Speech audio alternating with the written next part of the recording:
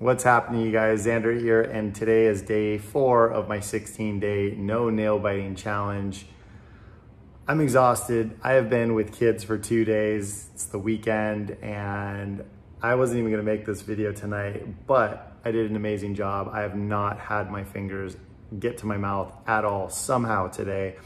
Um, let me give you a little bit of what I used. I don't know if you can see that well. My lighting is terrible. I meant to make this video earlier today but you can start to see there's like a little bit of white nail right around the edge there and they're starting to come. Um, oh my God, I look terrible. So today I did not use any of the cuticle cream. That's why they're looking really dry right now. They look terrible. Um, they're feeling a little bit smoother. Eh, they're still pretty rough.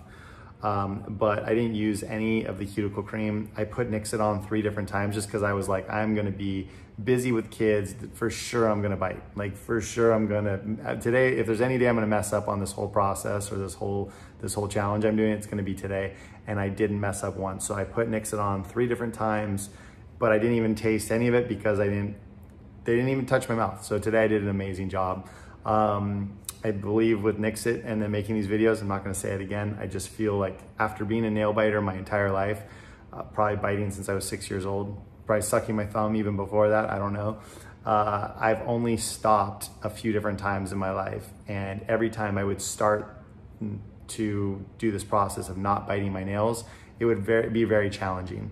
Um, this time around, I believe with NIXXIT and then also making these videos for you guys, kind of bringing you into my journey of doing this as, as, uh, as, you know, naked as I feel and, and, and, and showing you my true insecurities, right? Or bringing you into my life of my biggest insecurity, uh, my nails. Um, it's been very helpful in keeping me consistent and making sure that I'm actually producing what I said I was going to do. Even though my videos probably aren't the funnest to watch, um, they're at least me taking you through the process and I get to see the results along with you if you're watching on your end. So this video is not that exciting tonight.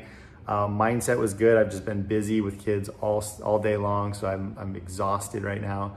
Uh, but tomorrow I plan on using more of the cuticle cream, starting the day off once again, putting NIXXIT on just to be sure. I, I mean, part of me kind of goes, oh, maybe I don't need it just because I haven't been putting my fingers in my mouth, but I think that's right when it ends up happening that I put my fingers in my mouth. So I'm going to do this uh, tomorrow, same routine. I'm actually gonna do the same routine for the whole 16 days.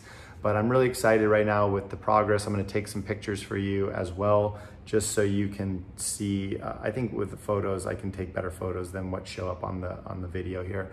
Um, that way you can see the progress that's being made. So anyway, you guys, sorry for the video, the long one tonight, but um, tomorrow I will make a much better, more detailed one and uh, hopefully have some great pictures for tomorrow as well. Have a great rest of your day. Keep up the good work if you're following along and doing this with me. And uh, I highly recommend make videos like this too. Tag me in it, tag NIXXIT in it, do whatever you're gonna do. Burt's Bees, cuticle cream, whatever it is. Just make these videos, put them out there. Yeah, it feels a little invasive to your biggest insecurity, but it works and it's actually helping. So anyway, thanks guys, have a great night and I will talk to you tomorrow, day five.